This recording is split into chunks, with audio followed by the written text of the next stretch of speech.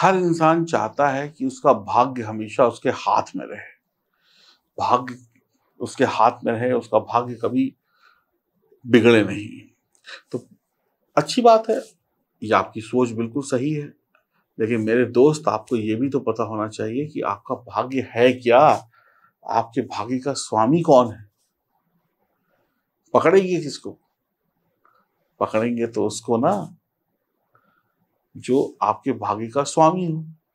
तो मिथुन राशि के जो भी जातक जातिका हैं, उनके लिए ये वीडियो है और चंद राशि पर आधारित है। आपकी राशि के स्वामी होते हैं बुद्ध देव अब बुद्ध देव के पास बुद्धि है, ज्ञान है, वाणी है। अब इस कुंडली को देखिए, इसी कुंडली में सारे राज दफन है। अब मैं एक एक राज खोलूँगा। देखिए, जहाँ पर लिखा हुआ है ग्यारह नंबर अब ग्यारह नंबर जो है, वो कौन सी राशि होती है? वो होती है कुंभ राशि। और कुंभ राशि के स्वामी कौन होते हैं? शनि। और जहाँ पर ग्यारह नंबर लिखा हुआ ये भाव हो गया नवा। नवा भाव जो है, वो है धर्म, यानी भाग्य का भाव, पिता का भाव। तो नवम भाव, यानी जहाँ पर ग्यारह नंबर लिखा हुआ है, ये हो गया आपका भाग्य। और इसमें कौन सी राशि आई? कुंभ राशि। कुंभ राशि के स्वामी हो गए शनि। तो आपके भाग्य का स्वामी हुआ शनिदेव। और राशि हुई कुंभ। आपकी राशि का स्वामी हुआ बुद्ध तो भाग्य का स्वामी शनि, राशि का स्वामी बुद्ध और दोनों आपस में है मित्र। आप ऐसा समझ लें कि बिना बुद्ध के शनि चल नहीं सकते। शनि को अगर कुछ करना है तो उनको बुद्ध की सहायता लेनी ही पड़ेगी। तो अब आपको क्या करना है जिससे आपका भाग्य जाग जाए? बड़े दिनों से परेशान है, भाग्य साथ नहीं दे रहा, नौकरी में भाग्य साथ नहीं दे रहा, परिवार में भाग्य साथ नहीं दे रहा, करे तो करे क्या? एक एक नंबर से फेल हो जाते हैं। लोग हमसे आगे निकल जाते हैं। जो लोग कम मेहनती हैं, वो ज़्यादा सफल हैं। हम मेहनती हैं तो हम पीछे हैं। बैड लक है। मेहनत तो हम आठ आठ घंटे करते हैं, पढ़ाई तो हम बारह बारह घंटे करते हैं, लेकिन फिर भी नंबर अच्छे नहीं आते। सैलरी अच्छी नहीं मिलती। मेहनत करने के बाद भी बॉस की डांट पड़ जाती है। सब कुछ अच्छा करने के बाद भी सब कुछ बेकार हो जाता है। ये क्या है? ये बैड लक है। बैड लक आपका क्यों था? क्योंकि अभी तक आप जानते ही नहीं थे कि भाग्य को मज़बूत करने के लिए हमें किस ग्रह को मज़बूत करना है। तो ग्रह जो हुआ आपका मिथुन राशि वालों का, वो हुआ शनिदेव। और आपकी राशि का स्वामी हुआ बुद्ध अब एक चीज़ और यहाँ पर ध्यान से देखिए। ध्यान से देखने वाली चीज़ क्या है? कि नवे घर के बाद आता है दसवां घर। दसवें घर में लिखा हुआ है बारह नंबर। यानी कि मीन राशि। और मीन राशि के स्वामी भी होते हैं देवगुरु बृहस्पति और नवम भाव के स्वामी भी होते हैं देवगुरु बृहस्पति। तो कहीं ना कहीं आपको अगर अच्छे रिज़ल्ट चाहिए तो देवगुरु बृहस्पति का भी सहारा लेना पड़ेगा। भाग्य को मज़बूत करने के लिए देवगुरु बृहस्पति को भी आपको मज़बूत करना पड़ेगा। तो शनिदेव को मज़बूत करने के लिए आपको सबसे पहला काम क्या करना है?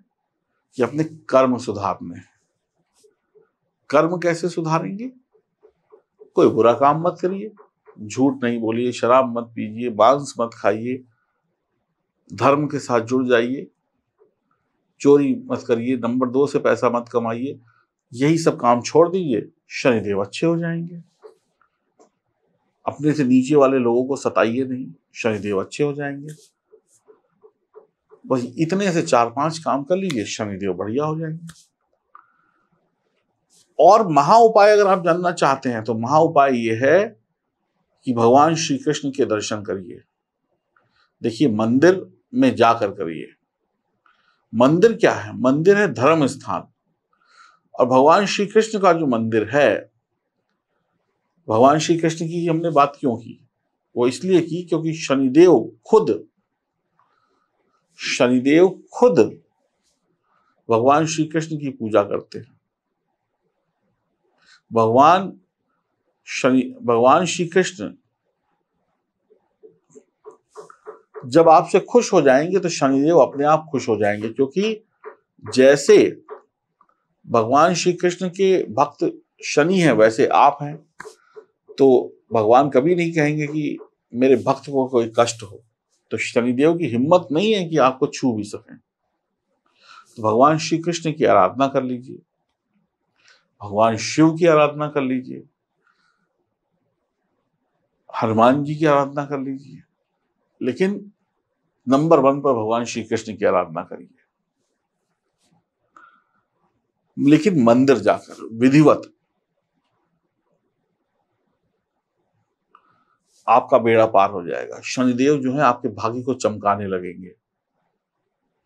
अब मंदिर धर्म स्थान है तो यहाँ पर देवगुरु बृहस्पति भी जुड़ गया और आपकी भक्ति भी जुड़ गई श्री कृष्ण से। तो दोनों काम हो गए।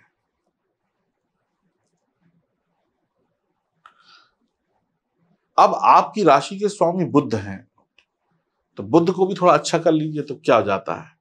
तो बुद्ध को अच्छा करने के लिए आप, आपके घर में जो आपकी बहन है, आपकी जो बेटी है, आपकी जो बुआ है, आपकी जो मौसी है, इनका सम्मान करिए। इनको नमस्कार करिए, इनका आशीर्वाद लीजिए और भगवान गणेश की उपासना भी कर लीजिए। मात्र इतना करना है। तो आपके भाग्य का स्वामी हो गए शनिदेव। तो आपको हर हाल में शनिदेव को मज़बूत बनाना ही बनाना है। शनि आपके कर्मों को बेहतर बनाएँगे और आपको रिज़ल्ट मिलेंगे। वही व्यक्ति इस दुनिया में सफल है जो कर्मशील है और शनि कर्म के ही देवता है। तो आपके लिए ग्रह आया, शनि और राशि आई, कुंभ। अब कुंभ राशि जो होती है, वो अध्यात्म की राशि है। जैसे मकर राशि भी शनि की राशि है, मकर राशि भौतिकवादी राशि है। लेकिन कुंभ राशि जो है, वो अध्यात्म की राशि है। तो अध्यात्म से जुड़ जाइए, धर्म से जुड़ जाइए। आपका काम होना शुरू हो जाएगा। तो भाग्य के स्वामी को मज़बूत करने के लिए आपको धर्म से जुड़ना है। जैसे ही धर्म से आप जुड़े, जैसे ही आपने बुराइयों को छोड़ा, जैसे ही अत्याचारी काम छोड़े, जैसे ही मांस मछली छोड़ा, शराब पीना छोड़ा, जैसे ही आपने गरीबों को सताना छोड़ा। जैसे ही आपने पशुओं की सेवा करनी शुरू कर दी, जैसे ही भगवान श्री कृष्ण की आराधना शुरू करनी, शुरू कर दी, वैसे ही शनिदेव आपको आशीर्वाद देने लगेंगे और आपके भाग्य को चमका देंगे। भाग्य का स्वामी हो गया शनि और आपकी राशि का स्वामी हो गया बुद्ध तो आप ऐसा समझ लें कि दोनों एक दूसरे के बिना अधूरे हैं। शनि जो है अगर उनको चलना है तो बुद्ध उनके आगे आगे होता है। बुद्ध उनको रास्ता दिखाता है, कहाँ जाना है, इधर जाना है या उधर जाना है। शनि जो है बुद्ध के इशारों पर चलते हैं। तो दोनों को मज़बूत करने के मैंने आपको उपाय बता दिए। जब आप दोनों को मज़बूत कर लेंगे तो अपने आप आपके भाग्य का स्वामी चमक जाएगा और आपको कतई कुछ और करने की आवश्यकता होगी नहीं। फिर आपको बस मेहनत करनी है और उसका रिज़ल्ट लेना है। क्योंकि मेहनत के साथ अब भाग्य भी जुड़ जाएगा। आधे से ज़्यादा लोग सिर्फ़ मेहनत करते हैं, उन्हें भाग्य को मज़बूत करना नहीं आता तो मैंने अब आपके भाग्य को मज़बूत करने का तरीका आपको समझा दिया है। कितनों को समझ में आया? अब श्री कृष्ण को प्रसन्न करने का सबसे बड़ा महामंत्र क्या है? आपको पता है? सबसे बड़ा महामंत्र, जिसकी आवाज़ यहाँ से लेकर भगवान के घर तक जाएगी। अगर आप कमेंट बॉक्स में लिखते हैं, राधे राधे, देखिए, ये वीडियो जो है ना, कभी मिटेगी नहीं। और आपके द्वारा लिखा हुआ एक शब्द राधे राधे हमेशा के लिए अमर हो जाएगा। तो जैसे ही आप कमेंट बॉक्स में लिखने लिखेंगे राधे राधे, और भगवान श्री कृष्ण को सबसे ज़्यादा प्रिय है राधे, और राधा जी की जब आप गुलामी कर लेंगे, राधा जी के सामने हाथ जोड़ देंगे तो भगवान श्री कृष्ण को आपके कष्ट मिटाने का आदेश शनि को देना ही पड़ेगा। वो भगवान श्री कृष्ण कहेंगे, शनिदेव, सावधान, ये मेरा बच्चा है, अब इसे कोई कष्ट नहीं होना चाहिए, इसके भाग्य को उज्जवल कर दो। क्योंकि शनिदेव जो हैं, वो भगवान श्री कृष्ण को पूजते हैं। वो उनके आराध्य हैं तो भगवान श्री कृष्ण की बात शनि नहीं टालेंगे और राधा राम लिख देंगे तो राधा जी की बात भगवान श्री कृष्ण नहीं टालेंगे तो आपका भाग्य कल से उदय होना शुरू हो जाएगा। ना हो तो आजमा के देखिए, मेहनत करते जाइए, आपको रिज़ल्ट मिलने शुरू हो जाएँगे। थोड़ा सा वक्त भले लग सकता है, लेकिन आपकी किस्मत के जो, पे जो काले दाग है ना अब वो साफ़ हो जाएँगे। सिर्फ़ मेरी इतनी सी बात मान लीजिए, ना कोई दान करना है, ना कोई पुण्य करना है, ना कुछ पैसा लगाना है, जितना बोला सिर्फ़ उतना करना है। आजमा के देखिएगा। और अपनी जन्म कुंडली की जाँच ज़रूर कराइएगा। अगर शनि या अन्य ग्रह खराब स्थिति में हुए तो हम उनका भी उपाय आपको बताएँगे ताकि आप जीवन में तरक्की पा सके। हमारा उद्देश्य सिर्फ़ आपके चेहरे की मुस्कुराहट है, आपके परिवार की खुशियाँ हैं तो अगर आप भी अपने परिवार को लेकर चिंतित हैं, आपको भी मुस्कुराहट चाहिए तो दिए गए नंबरों पर संपर्क करके अपनी जन्म कुंडली की जाँच करा लीजिए और हमेशा हमेशा के लिए भगवान श्री कृष्ण की छत्र छाया में आ जाइए और जहाँ भगवान है, वहाँ पर कभी भी कोई कष्ट हो नहीं सकता। अब आपको ये वीडियो अगर अच्छा लगा है तो भी आप राधे राधे लिखिए। और कोई सजेशन है कोई सुझाव है तो वो भी लिखिए।